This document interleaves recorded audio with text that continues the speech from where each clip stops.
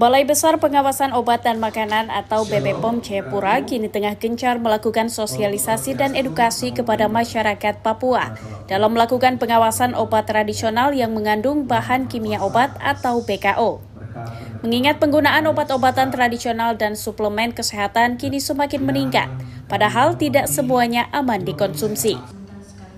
Untuk itu pada 1 November, BBPOM Jayapura menggelar komunikasi informasi edukasi dengan melibatkan pentahelix atau lima unsur, pemerintah, akademisi, media, pelaku usaha dan masyarakat, semua diminta untuk berperan. Kepala BBPOM Jayapura Mujaza Sirait menyebut pentingnya kewaspadaan masyarakat dalam menggunakan obat-obatan tradisional yang mengandung BKO. Pihaknya pun terus melakukan pengawasan penjualan obat, baik di apotek, klinik, dan toko obat, sehingga masyarakat bisa mendapatkan obat yang aman dan bermutu. Banyaknya, masih banyaknya obat tradisional atau jamu yang mengandung bahan kimia obat. Karena peraturan di negara kita, obat tradisional itu tidak boleh mengandung bahan kimia.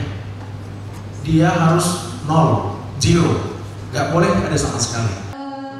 Lebih jauh, BPOM Jayapura mengimbau masyarakat Bumi Cendrawasih untuk cerdas serta bijak dalam memilih dan mengonsumsi obat tradisional. Terlebih di masa pandemi dan setelah dilarangnya penggunaan obat sirop yang mengandung zat etilen glikol dan dietilen glikol melebihi batas, yang ditengarai menyebabkan gangguan ginjal akut pada anak.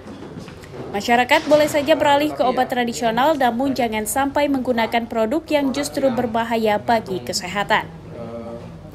Dari Jayapura, Papua, Laksa Mahendra, kantor Berita Antara, mewartakan. Gimana mau kita pegang